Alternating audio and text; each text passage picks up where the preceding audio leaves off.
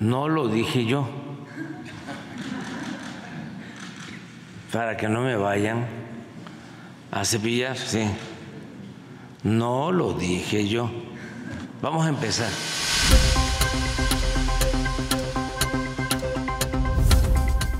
No lo dije yo. Es la nueva sección que se presentará en las conferencias matutinas del presidente Andrés Manuel López Obrador. Un espacio en el que se expondrán los hechos en voz de los protagonistas de la noticia.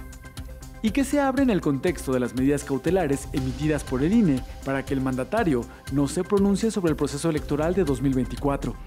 Como ya no puedo hablar mucho, porque me cepillan,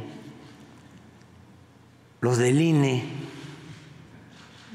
los del Tribunal Electoral, voy a tener una sección nueva que se va a llamar, no lo digo yo, no lo digo yo y nada más lo ponemos aquí. ¿Sí? O sea, de lo que dicen, para que la gente tenga información. Este miércoles se inauguró la sección con la reproducción de una entrevista realizada a Vicente Fox, en la que pide le regresen su pensión de expresidente, pero demanda que se acaben los apoyos a la población por medio de los programas sociales. Por cierto, de su pensión, ¿cómo va, don Vicente? pues batallando para sobrevivir económicamente, sí me ha costado trabajo, la pérdida de la pensión, la pérdida de los apoyos de talento y de recurso humano y la pérdida de los seguros, el seguro de gastos médicos mayores, eh, andan sobre 100 mil pesos mensuales a mi edad el seguro de gastos médicos mayores y ahora tengo que pagarlo yo.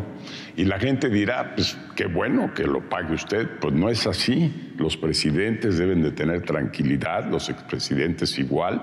Sucede en todo el mundo, no hay que mandarlos a la hoguera porque luego se portan mal. ¿Ese derecho entonces debe ser restituido después del 2024? Sin duda, sin duda. Igual que la libertad en la cuestión de sueldos y salarios o la competitividad en, los sueldos y salarios. ¿Deberá entonces AMNO recibir esa pensión? Ese cuate no necesita, si, si él dice que vive sin nada, entonces la pensión ya la tiene, ya se hizo justicia a sí mismo. ¿La advertencia para el país? Ojalá y Xochitl nos cubra eso, de que los huevones no caben en el gobierno y tampoco en el país. Ya se acabó que estés recibiendo programas sociales. A trabajar, cabrones, como dice Xochitl.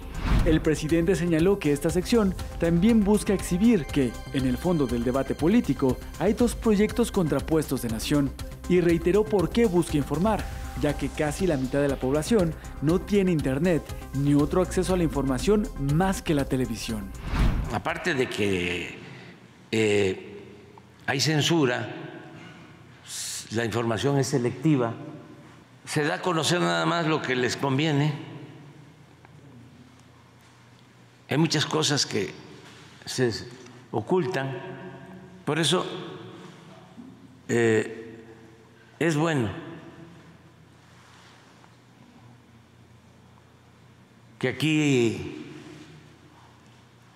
se transmitan noticias importantes para que la gente se informe más. No lo dije yo. Una estrategia frente al reto de informar ante las limitaciones para hacerlo y en medio de una embestida mediática contra el gobierno federal. Canal 14.